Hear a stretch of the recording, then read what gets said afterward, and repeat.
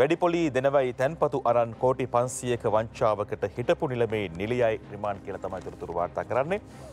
වැඩි සෙනෙහි දක්වන තැන්වල සමහරවිට ප්‍රශ්නයක් තියෙන පුළුවන්. කවරුවර කෙනෙක් ව්‍යාජ විදියට ඔබට ආදර දක්වනවා වැඩි ප්‍රතිලාභ දෙනවා කියලා ඔබට ව්‍යාජ ආදරයක් මවා පෙන්වනවා නම් ඒ ගැන දෙපාරක් තුන් පාරක් නෙමේ සිය වතාවක් ඔබ හිතන්නටම ඕනේ. රොෂාන් තුෂාර වාර්තාව ලියනවා. වැඩි පොලියක් දෙන බව පවසා රජරට හුරුළු ව්‍යාපාරයේ ගොවි ජනතාව රවටා ට්‍රෙඩ්වින් නමින් පිරමීඩ ව්‍යාපාරයක් පවත්වාගෙන ගොස් රුපියල් කෝටි පන්සියකට අධික මුදලක් වංචා කළේ චෝදන ලැබ සිටින විහාරස්ථානයක හිටපු බස්නායක නිලමේවරයෙකු සහ සැකකරු පිළිමතලාව ප්‍රදේශයේ සංගවාගෙන සිටියයි කියන නවක ටෙලිනාට්‍ය රන්ගෙන ශිල්පිනියක ලබන පස්වෙනිදා දක්වා රක්ෂිත බන්ධනාගාරගත කරා කියලා තමයි ලංකාධිපත්තරය කියන්නේ. නවක වුණාට වැඩනං රඟපෑම් පැත්තේ ටිකක් තියෙනවා වැඩිපුර.